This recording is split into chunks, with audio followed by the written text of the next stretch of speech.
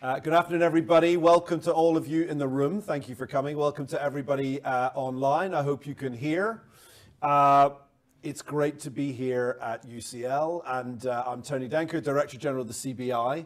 Uh, I'm doing all my own chairing and facilitating today because to do otherwise would have been uh, ludicrously indulgent. But just to tell everybody what's going to happen, I'm going to speak probably for about 20, 25 minutes share with you the entire answer to the future of the British economy, uh, and then we're going to do Q&A. Q&A will, I'm afraid, just be in the room, uh, but hopefully, uh, so start thinking of questions, please, to keep it active. Uh, and we've got uh, handheld mics so that people online can also hear the questions. So welcome. Uh, anybody here from UCL? We've got some of the crowd from UCL here, so it's very, very nice to be with you. Uh, an institution that for almost, I think, two centuries has been pushing the frontiers of knowledge uh, to benefit our economy, our country, and our lives. So I'm really delighted to be here at UCL. Most importantly, you are members of the CBI, uh, which is an impressive choice. So thank you very much indeed for having us. Uh, look, this is uh, this speech today comes after two years uh, in the job, where two years ago I made my first speech as Director General. Uh, and I had an ambitious proposition that I put forward which was that the UK should have an economic strategy. Uh, something which, by the way, uh, other countries have, but we don't really do in the UK. Uh, but my call was very successful because we've now had three economic strategies from three prime ministers in two years. But the reality is, none of them have ever really stuck. We did our part. We wrote a sort of microeconomic strategy for the future of the UK. It was called Seize the Moment. It set out our ambitions to have a more competitive, dynamic, and future focused economy. We set out very concretely the economic prizes to the very pounds and pence for firms and sectors all across the economy. And we stand ready uh, to fold that into a set of new economic cabinet ministers as they work out the plan uh, in 2023. Uh, we keep talking about growth. Why do we keep talking about growth? I assure you it isn't about economics, though there's good reasons for it. It isn't about politics, though there are good reasons for that. It's about people. People in this country who've had pay rises, but not as high as price rises. Uh, people who know their jobs are changing and they want to be reskilled and upskilled for better paid jobs. Uh, this is about people who recognize that the health service needs more money, that our schools need more money, or transport systems need more money. But there isn't more money because there isn't enough growth. Uh, now, I am, uh, despite some accusations in the media this morning, I am neither a doomster or a gloomster. I am a boomster as the great Boris Johnson would say. Uh, and I'm not here today to talk the UK down. And nor am I going to talk our politicians down either. It's been a turbulent few years, let alone few months. And our ministers and our civil servants uh, have given so much of themselves and coped with incredible crisis very well. So, although I do have some criticism of where we are, uh, and I do feel compelled to say it, none of it is personal driving up growth after 15 years of flatlining performance and in a parliament that is confronting a world of perma-crisis is not easy. Uh, and some credit where it is due. The Prime Minister and the Chancellor have done a really good job of stabilising the economy uh, after the fallout of the autumn. And the Chancellor, in particular, upheld high levels of capital spending, unlike uh, his predecessor, Uh, George Osborne at the start of the fiscal consolidation over 10 years ago, he upheld capital spending despite basically delivering a 55 billion pound consolidation in the autumn. And he's begun to sow some important seeds to return to in the budget. And despite an election looming, I don't know about you, but I actually feel there is pretty large consensus in this country about how you get growth going. We need to get business investment up. We need the right labour market and skills. And we need to succeed in the growth innovation markets of the future. Everybody agrees about that. Now, the current CBI forecast is that the PM should comfortably hit his pledge of getting the economy growing this year uh, he'll hit it by 0.1%. Uh, But today I suggest that if our policies are oriented towards 0.1% growth, then it's the most we'll ever achieve. Because if you're going to overcome the headwinds firms face this year, you're going to need far more forward momentum economically. Uh, and that's really what today is about. Uh, it is a speech about solutions, about the tailwinds you create to overcome the headwinds. But let me start uh, let me start out quite starkly by talking about some of the challenges on areas where I worry our economy is moving backwards, not forwards. In the areas of capital, people, and ideas, coincidentally, the three core priorities of our Prime Minister set out in a speech, the Mais Lecture, less than 12 months ago. A brilliant speech, I would say, and I urge you all to read it. So let's start with capital investment.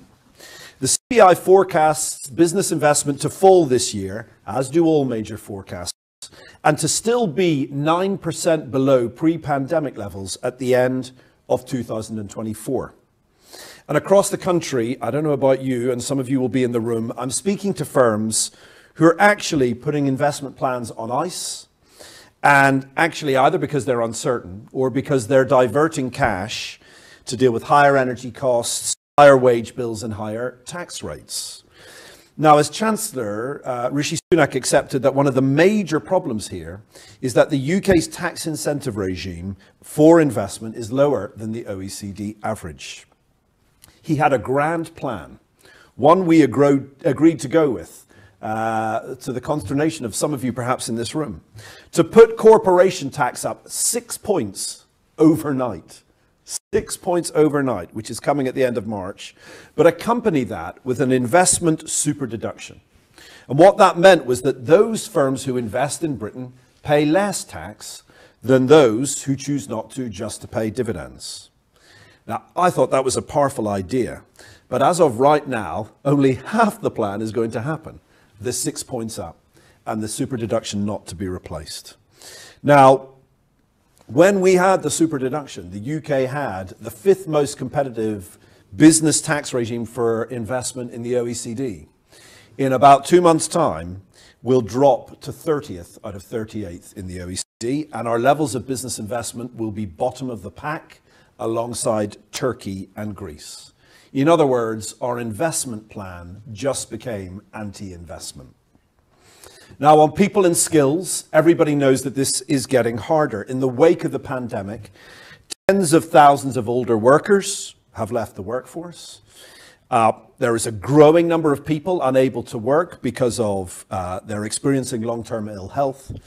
And just when the NHS is on its knees trying to deal with current demand, we are asking them to solve those problems. Childcare is very expensive in the UK. It's amongst the highest in the OECD. Uh, and it's keeping parents who want to work or have some part time work or work from home, it's limiting their ability to do so. Now, politicians on all sides don't want to use economic migration to tackle label shortages. Let's be honest, selling it to the public just seems too daunting.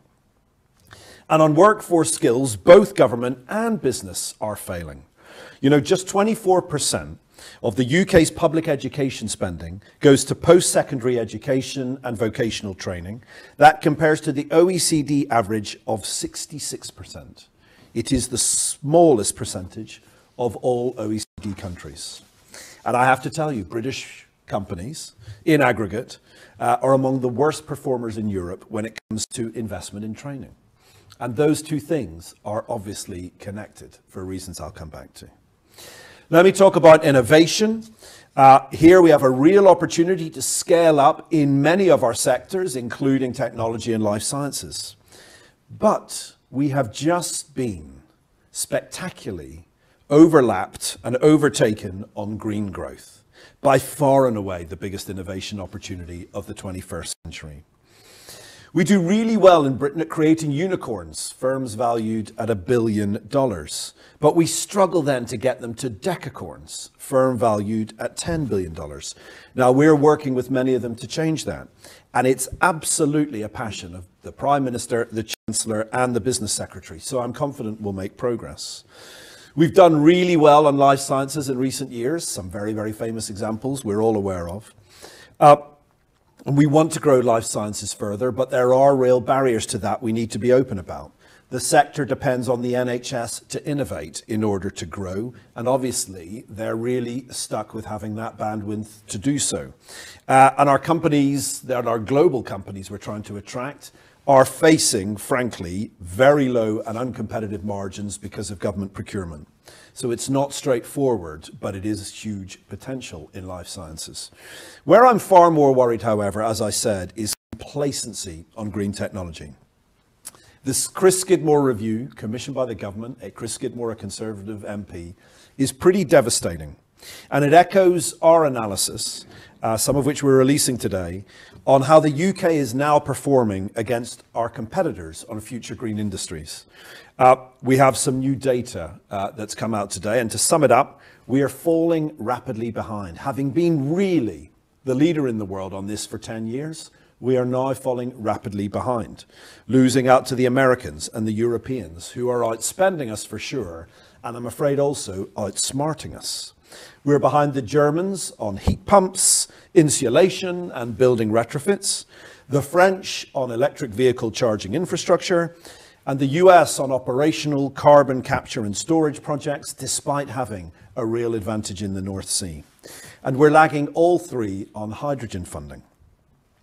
Now, this is stunning to many of us who have held up clean energy as the area where Britain could lead the world, but it has changed in the last two years. We have lost market share, others have gained it, Uh, and we estimate it to the value of about 4.3 billion pounds by 2030, lost literally in just the last 12 to 24 months. So look, the challenges are pretty big, and I'm really worried about the political response. The Conservative Party seems to be restarting its civil war on tax. Some in the party are calling again for big tax cuts for voters this year as a quick growth fix. They are wrong. The Prime Minister is right. To deploy mass tax cuts now with inflation this high will backfire. In fact, it did just a few months ago, and so the PM has our full support on this one. But I reject a polarized notion that you have to choose between fighting inflation or growth, or as the government seem to think, that you must first bring down inflation before you act to get growth.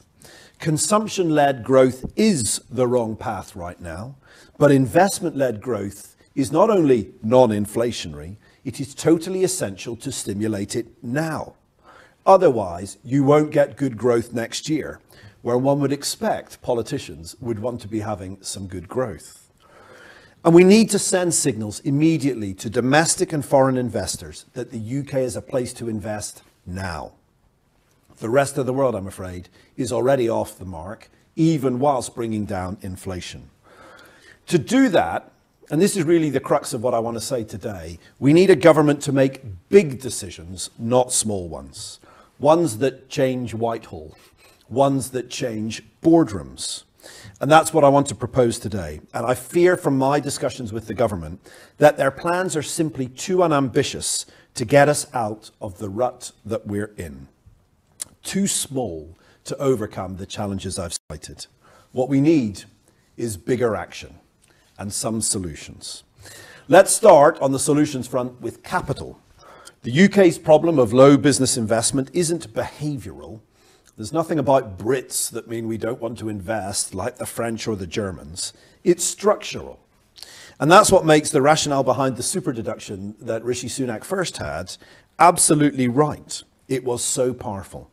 So this is very simple going forwards. Let's finish the job that the government started. We're proposing full expensing for capital investment. It's actually not about a more generous tax system, it's about using it in a smarter way. It allows firms to raise investment now by the government allowing them to have cash flow back to the firms right in the year they make their investment, not drip-feeding the benefits, which we do sometimes up to 30 years. And that's critical to driving investment out of recession because it tackles the very reason why firms say they can't invest, i.e., cash flow, and gives them a benefit straight away. And the cost to the government, sorry for getting accounting on you, is largely a balance sheet one, phasing the cash differently to enable people to stimulate growth now. Now, I admit that if it was a massive success story and everybody started investing at unprecedented levels, that would be expensive by the government, for the government, but unbelievably affordable given the amount of investment that we just would have stimulated. Now, this can be uh, a fantastic uh, conversation between tax accountants. But let me tell you why it's about more than that. If companies invest more, they create better jobs. If they automate more, then prices and inflation come down. They build better healthcare equipment for our hospitals. They build safer and better trains for our railway network and so on. Investment matters to people, not just economies. Uh, now, the government say they believe in this policy, in fairness to them, but they can't afford it. That's because they don't want the hit to the annual accounts. And I just don't think that's a good enough reason for the government not to bring their balance sheet to bear here to help Britain getting investing. But recognizing their concern, we have a new proposal on this one. We're suggesting that they lay out an investment roadmap, basically to achieve full expensing within three years. And right away, by setting out that roadmap, building it up over three years, you would send out a very clear signal that the UK is committing to rewarding investment. Politicians love to use the line, Britain is open for business. It's very often hollow words. This would make it true. So investment, let me talk about people and skills, more solutions. Uh, when it comes to labour market inactivity, we will have to be much bolder than we're planning because we start with one hand tied behind our back. The government don't want to use immigration to fill vital shortages.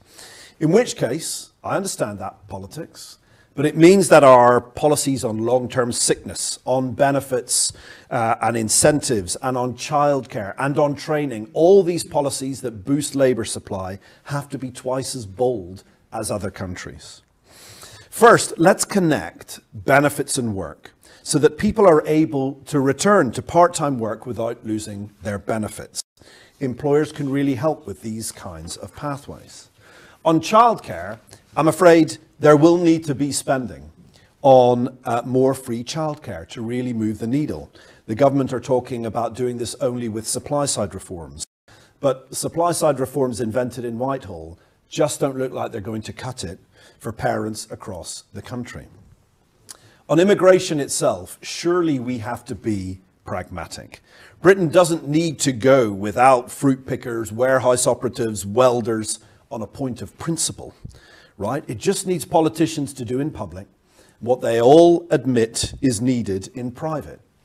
Immigration that is fixed and short term, eases shortages, and buys us the time to get our labour market balanced again. On adult skills, we do need to sit together, business and government, along with the skills sector, and make real change. In contrast to other European systems, when the UK government does spend money, it doesn't work with business to do it. The lifelong loan entitlement, one of their flagship policies, was created as a contract between government and the adult learner. It was not conceived as relevant to the current or future employer, which is a clear omission. And while our tax system does intervene uh, to address market failures and capital investment and innovation, it does the opposite on skills.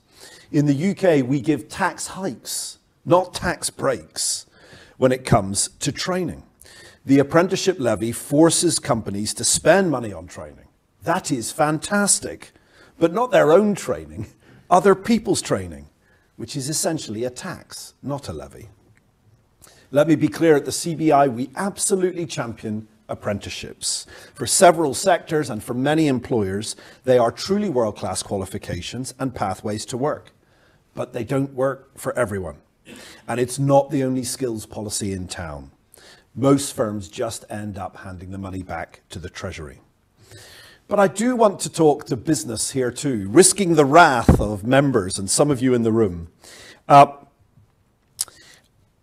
I want to say that we don't disagree with levying firms to spend more on training, especially after years of underinvestment. We think it's a good idea. It's just that to take money off companies to subsidize others is an act of economic self harm by the government. And companies do need to spend more, however, on training their people. And I would welcome any initiative to make transparent what we as employers spend on our people.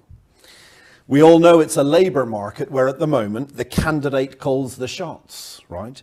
There is fierce competition among firms on their employee value proposition, right? Their EVP. And I say today that any EVP that doesn't have substantial investment in skills development will fail. You will fail to attract the people you need. The market will weed out those firms that underinvest training in people, and so it should. Finally, I urge the government to have one labour market strategy with one point of accountability. Today, it sits with the Home Office, BEIS, the Department for Education, the Department for Work and Pensions, the Health Department, the Cabinet Office, and the Treasury. A very simple maxim when everybody is accountable, no one is. And this stuff is now critical to our future growth as an economy. Third one, innovation. As I said earlier, I am confident that the government will act here. It's the Prime Minister's passion. And supporting him, we've got two successful entrepreneurs leading the Treasury and the Business Department. Uh, now, everybody, especially politicians, loves a tech startup or a photo with a robot. It's their absolute favorite. But you know, rather than just glamorous inventions, innovation should encompass and improve the competitiveness of our whole economy, every region and sector. So what would it mean to go forwards on innovation? Well, first, let's double down on that life science vision to ensure the sector uh, doesn't leave Britain, but stays and grows. Secondly, let's get serious about the Prime Minister's ambition to turn the UK's billion dollar companies into $10 billion companies our President Brian McBride is inviting some of the UK's fastest growing companies to join a new project from the CBI, Project Decacorns. And together we will set out how the UK can grow global champions in the digital space here in Britain. And then, probably most of all today, let's get back to winning, not losing in green by making smart regulatory changes and using public money specifically to unblock private sector investment. Look, we've done this already in offshore wind. We can repeat that successful formula. And this year, we at the CBI are going to prioritise green growth as the major propeller for the UK's future competitiveness. As I said on media this morning, this is the next financial services for Britain. It is of that order of magnitude. We really believe we can continue and extend our leadership in the, on green growth, as we did, by the way, when we were the first to set net zero targets. But we are on the verge, I'm afraid, of being relegated from the Champions League by the Americans and the Europeans, both who are now in an arms race to win global share. Not only are they spending more money, they're also abandoning regulatory barriers, including state aid, to win the prize. That's a lesson for us about what it means to go big. The UK government protests that it's increased its green investment. And that's true. But we are not racing against ourselves. And we are not racing against the past. We're in a race with our competitors. And this is where the lion's share of growth will come in Britain or not come. Look, here's how we'll win. I'm about to sum up an incredibly complicated uh, green strategy for success uh, in just a paragraph. Look, first you have to build off unique strengths, right? Our geological advantages in wind and carbon capture, right? That's one of our strengths. Uh, our science base in universities, such as this. Uh, our world-class finance market, and the early leadership, actually, of UK companies across all sectors to decarbonise. Those are some of our advantages. Secondly, we need to make smart fiscal choices rather than believing we can outspend the competition. We clearly can't. But we do need to put funds into immature technologies where the market can't yet act. We should continue to use this mechanism, contracts for difference, which essentially government underwrites the risk of new technology markets across all the technologies like we have in wind. And we need to create positive incentives for local content rather than protectionism, as we've seen in other places. And finally, I'm afraid it is time to confront regulation, planning, and consenting that hampers our progress. Put simply, we in Britain are world class at being an impossible place to get any projects going, nationally and locally. From laying connectors to the grid, to building EV charging infrastructure, where the Spanish are four times as fast. And that's before you even get to the controversial subjects of onshore wind and solar. Look, I know that subsidies and planning reform are anathemas, both of them, to the Conservative Party. But I'm afraid refusing to budge on both uh, when it comes to green investment is just making a mockery of the government's desire to be one of the most innovative economies in the world. Leading on from this, I just want to say one thing about the UK's regulatory divergence from Europe. I'm going to try and do it without saying the B word.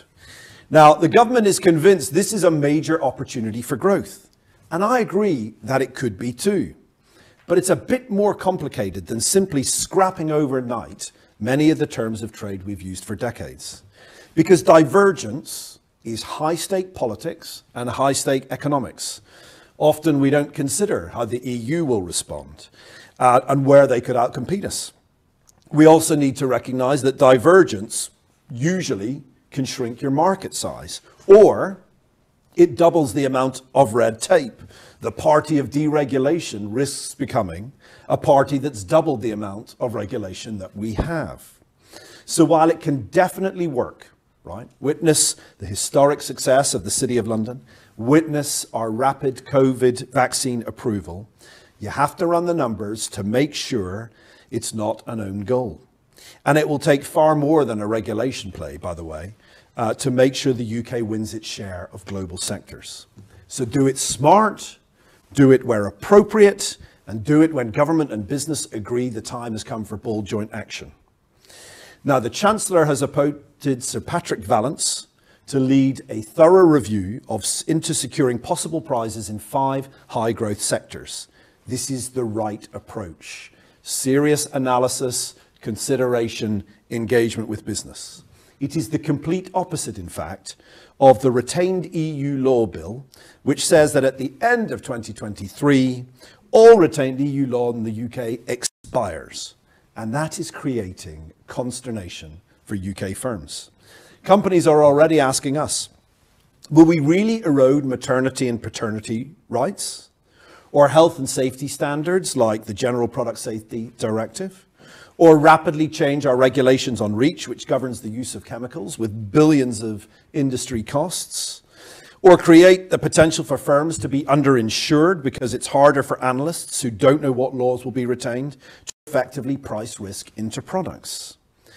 If I can put it more crudely, do we really want to subject the public and industry to another round of mass confusion and disruption just as we're trying to exit recession. Instead, I say, let's review, retain, reform, and where appropriate, repeal EU law the Vallance way, smartly, not the retained EU law way, foolishly.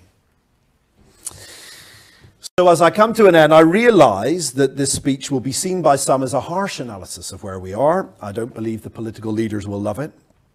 But we say it because we think it's true. Because we don't feel any politician can respond to Britain's current problems without growth. And mostly because we believe that both parties are today led by pro growth politicians. This should be a maximum opportunity moment. And I've tried not only to criticize, but to channel Lord Young, an alum of this place, who we recently lost, who famously stood out for bringing solutions, not problems. Here are the solutions for government. Transform our tax system to reward those who invest.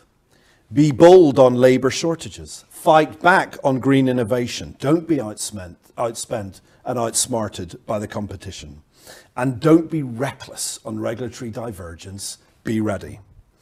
And I also challenge business, many of you watching, to also adopt solutions Invest more in capital, people, and ideas, and persuade your shareholders of the merits.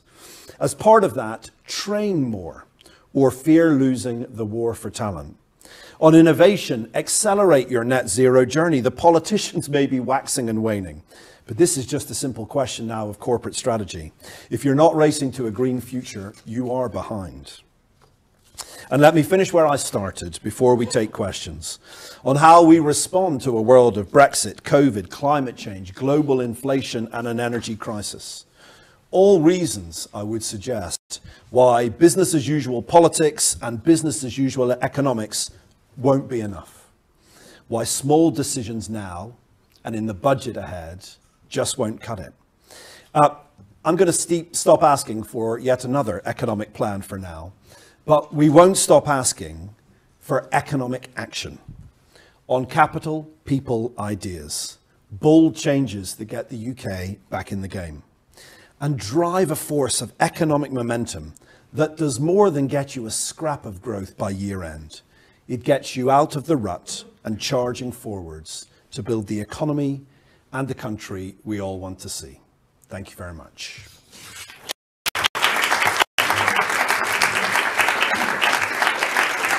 Okay, uh, let's do some questions again. If you've just joined online, sorry we can't take questions online, but hopefully uh, your colleagues in the room will ask tough questions uh, and we'll see, we'll go maybe for about 15 or 20 minutes. Uh, folks at the front, like if you can say your microphone is coming so people can hear you online, and if you can say your name and where you're from. Thanks, Tony. Uh, Adam, yeah, uh, Adam Payne from Politics Home. Uh, you spoke in your speech about how the government should be bold uh, when it comes to migration rules and addressing gaps in the workforce, at least in the short term. Now, you mentioned fruit pickers. Um, what are the other sectors' jobs that are particularly concerning for you in regards to the issue of uh, labour shortages. And you touched upon the political obstacles to this. You said how it's a difficult political argument to make. Can you sort of um, be more specific? Is this a Home Office thing? Is this the Home Office that's, and that's usually, that's often what's said, is the Home Office blocking this? On immigration. Um, on immigration, is, is, is it the PM being nervous about the Brexiteers in his party? What's your view on why this is so difficult for the successive Conservative sure. Prime Ministers? Uh, well, look, I could give you a list of professions and jobs that I think are missing, but I, I, don't need to because we have a mechanism that does this entirely independently, which is the Migration Advisory Council, who should be frequently asked to produce a shortage occupation list. And they haven't been asked for over two years, and there isn't one coming uh, in, in the next few weeks. Uh, we need to do the work, right? This is a very, very straightforward uh, we turn around and we say, right, what skills does the country need? What skills have we got at home? For the skills we don't have at home, i.e. the shortage occupation list, let's use migration. And I'm completely relaxed about turning around and saying that migration can be fixed term and the government can put in place other strategies to get more welders or butchers or whatever it is we need. Uh, and by the way, when you talk to politicians, they all agree this is entirely uh, reasonable but it's not the process we follow because I think, I don't just think it's about the Home Office. Uh, I mean, I, I, I, do sometimes worry that we ask the Home Office to be in charge of immigration, which in turn almost makes a statement about it's a, it's a security issue, right? Ideally, immigration would sit within an economic ministry because we see it as a growth issue, or it sits with the education department because we see it as a skills issue. So I don't just blame the Home Office, although I do find that sometimes they don't think enough about economic opportunity. I just think politicians today, uh, probably because they hear it from their focus groups, uh, just don't have the courage to confront people with this reality. And they probably feel that doing it in a nuanced way is impossible, which I think is wrong. I mean, when you think back to the HGV driver uh, shortage about over a year ago, I recall a British public saying, this is ridiculous right? This is stupid, right? We're taking this to the extreme. And so I think we should be able to have an open, honest conversation with people to say, look, we're clearly short in the labor market. We've had a massive hit to our labor market from the pandemic. We are going to use immigration. It's going to be fixed term. In other words, they're going to be temporary visas to help us out. People are absolutely used to this in the NHS and in social care, and they welcome it. And then we're going to put in place strategies to get more skills. I don't think our politicians are showing courage. I think they're trying to change the conversation. Yeah. Microphone back here. Thank you. Um, Jack Barnett from City AM. Um, you've obviously emphasised with a lack of business investment in this country, and that's something which has been going on for nine or ten years or so now. Within this big plan, is the Bank of England almost emerging as the villain in here? Obviously, they're raising interest rates, they're trying to battle inflation. That's going to make it quite tough for businesses to lead this investment boom if they're going to be taking on debt at quite a substantially higher interest rate as well. Yeah, look, this is why economics I've always felt is like a game of clutch control, right? Because we need higher interest rates to bring down inflation. I think that strategy will work in bringing down inflation.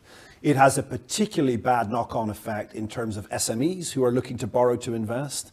Uh, some SMEs, some bigger firms already have the resources to invest. The question is, are they confident enough about Britain, or if they could be putting their investment elsewhere, uh, would it have an impact? But look, I, I think the Bank of England have no choice but to increase interest rates to bring down inflation because the sooner we bring down inflation, uh, the better for everyone.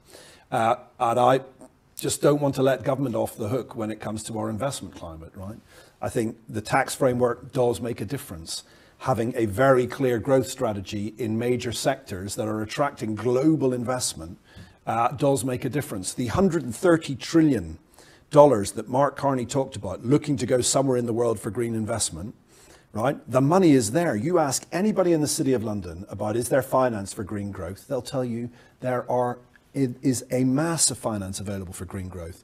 And the Bank of England uh, lending rate has got nothing to do with that. Now, there are some firms who will not get investing until interest rates come down, and the cost of borrowing goes down. But there's a heck of a lot we could be doing before we get to that. Let's get some more stuff from around the room. Lady here. If you just wait for the microphone, thank you. Name and where you're from. Hi, I'm Shazia Ejaz from the Recruitment and Employment Confederation. Um, completely agree with the point you made about needing much more joint up cross-departmental uh, government thinking about labour market issues, training, um, immigration, all of those things, and bold change within Whitehall. Um, do you get any sense that there is an appetite for looking at some of the the more sort of the mechanisms of Whitehall and how policy is constructed for that purpose of economic growth because it seems like there's never quite the change we need there. Well, look, I think the I think the chancellor uh, cares very deeply about this issue from my conversations with him, and he is actively working uh, with the Department for Health and the DWP on some of the sickness, in, in particular on sickness-related issues. Uh, and I very much hope that they move forward on that. I'm a little worried they aren't engaging businesses more because how you really, you know, the good pathways that allow you to reabsorb people who've been on long-term sickness back into work, right? They're complicated. Any employer in the room knows that actually, just because the government, I don't know, tweaks the incentives a little bit, it's not as simple as everybody comes flowing back and off to work we go, right? It's quite complicated, but you need to set up the right structure of job. You need to put in place the right sort of package of care and support. So I think they're all sitting in a huddle right now in Whitehall. They're taking it deeply seriously. They want to work on answers. We'd love to talk to them about them because, as everybody here knows, really absorbing people into the workplace their decision to work how many hours or their decision on how they get paid and how that relates to the benefit system and universal credit. All these things are issues employers and employees deal with every day. I'm worried Whitehall doesn't have enough insight into them. And the sooner we can talk together, the better, I think. Let's do some more. Gentlemen at the back and then gentlemen here with the hat. I feel like the uh, question time uh, moderator. Gentleman with the hat. But let, let's do gentleman at the back first. Um, Tim Morris, Associated British Ports. Um, we are as much a green infrastructure company as a um, transport hub provider. So very much support your views about really getting back into a leadership position on green growth. Um, a lot of what you said resonated. I just wondered whether you had any particular things in mind about using green growth um, to drive jobs and, and investment. We see a lot of a lot of potential in the infrastructure space, obviously, and obviously there's also a crossover with the the full expensing investment that you mentioned as well. But anything particular you wanted to bring out that you think would really make a difference? Well, look, I think, uh, yeah, we keep talking about green jobs. The best numbers I've seen on green jobs have actually been in relation to retrofitting. And we're really nowhere on energy efficiency. Energy efficiency is literally the most, uh, I think uh, somebody told me it's the most obvious public policy answer in public policy, right? Because we may have got away with it this winter when it comes to, although not today, but when it comes to wind and temperature. But the long-term solution to people bringing down their energy bills, and this applies for businesses as well, by the way. I was really upset the government didn't make enough moves to help businesses uh, install energy efficiency measures, is for people to build energy efficiency, and that has a real growth opportunity in terms of jobs. But you're right. Uh, you know, when you go to parts of the world that uh, you know very well in ABP, you know, I was recently up in the Humber, uh, where you run that port, and the potential for the northeast of England in terms of job creation, value creation, from the fact that we have, first of all, one of the most high emitting corridors of Europe, right next to the wells in the North Sea where you can put that carbon back in the ground. That will be transformational for the northeast of England in terms of jobs, in terms of firms, in terms of global investment and value, as you well know. On the, on the west coast, if you go across to sort of uh, the Mersey, they're talking about tidal power success. That's what's exciting about the green economy. Unlike financial services, which frankly was a story of growth predominantly in London, this is a story of growth everywhere, including for jobs. So look, we have more detailed work done on exactly where the jobs can come from and the skills you need. But I would say, first of all, energy efficiency is a no-brainer. Secondly, uh, these major sources of clean energy investment, particularly in different regions of the country where you'll have ports, uh, they are genuine added value creators in the economic sense of the word. So thank you for your question. Gentleman with the hat. Thank you. It's uh, Richard and Pellery AI. Um, we're an AI business and we help businesses take up AI for their own benefit. But we see some, a dark cloud on the horizon. We have lots of in initiatives which are designed to get people to utilize possibly the greatest tool available for profit.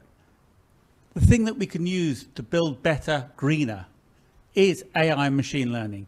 Yet we are facing a regulation which seems to be a bit myopic and believes Hollywood and thinks that machine learning is somehow some kind of sentient being that is going to take over the world.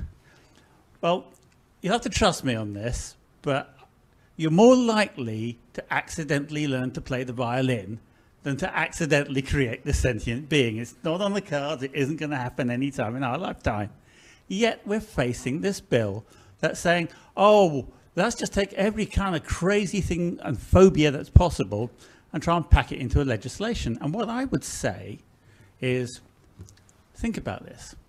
We have an incredible opportunity for Britain to grow in every angle you can think of, green growth, education, healthcare, you name it, it can benefit from this technology. We have a program that we're starting up, a thousand kids in AI. And this is something that we're inviting people into to just show you how easy it is to get into it. It's not something impossible. You do not need a PhD for this. Yet, instead of actually making it easy for Britain to grow in this respect, we're facing paranoia. We're yep. facing an industry that's being tarred with a brush, being found guilty of something it has not done. Yep. What I am also saying is I'm not saying, oh, it must be a free-for-all. I'm saying when we process data, we must be accountable. If you use AI technologies in healthcare, you are responsible for healthcare outcomes. Yep. And that is the regulation. If so you look, use it in financial services, the same. Look, I don't have a completely, you, you are more of a, a, subject expert than I am. What can I say, though, in, in some of the issues you raise? First of all, uh, I think Britain's backing AI big. I think there's a sense that the new wave of digital technologies, Britain does have inherent advantage over compared to the last wave where we essentially lost out to the west coast of the United States. So I certainly think government believes uh, in fostering these technologies. Secondly, uh, regulation coming early in the adoption curve is always a worry. right? I think the truth about new technologies is you do need to think about regulation, but later in the adoption curve. So I would some of your concerns. Thirdly, in general, there's a terrible thing about regulation that I have to say, which is whenever I talk to uh, politicians, particularly conservative politicians about regulation, they say the problem is Europe. And in most areas of regulation, the problem has nothing to do with Europe, right? Most of the regulatory barriers on business, on innovation, are made by British lawmakers in a British parliament and implemented by British regulators. Usually, in my view, they are overprotective of the consumer. Uh, and in case of some of the online safety bill discussion, uh, I think overly protective when it comes to thinking about that balance between child safety, which is obvious, and, uh, and innovation and growth. So I can't give you specifics on your AI point, but you're right, there's a risk that we put ourselves in the wrong place counter to some of the major strategic objectives of the government. So I think it's a good shout out. Let's do one more question and then I think we need to wrap up. Anybody else with a question in the room? Ah, we have two, so I'm going to take them both.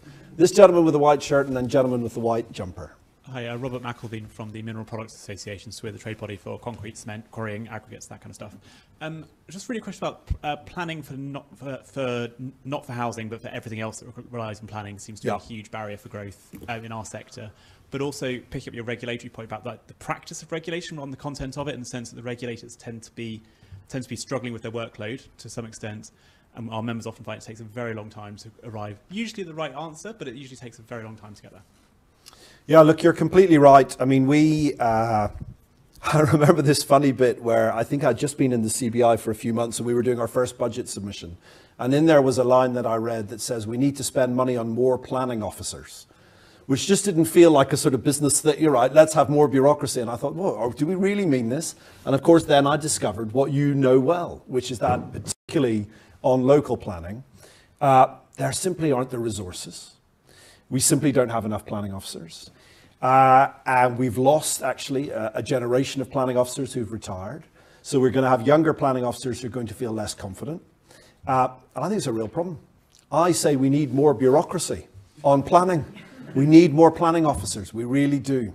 And, and listen, I understand there are complicated, uh, major political challenges with planning. That's not one of them, right? And it would speed up a hell of a lot. Last question, gentlemen here.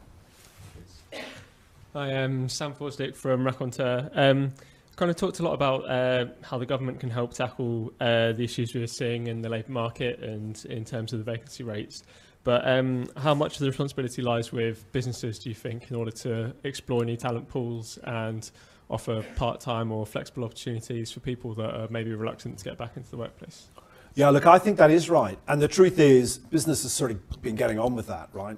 I mean, as you know, the labour shortage problem has been so profound that most of our members have been trying all kinds of things. And, and every time for the last 18 months that I've done a roundtable with businesses around the country, it's almost all they talk about. First of all, labour shortages is the biggest issue for companies, for sure.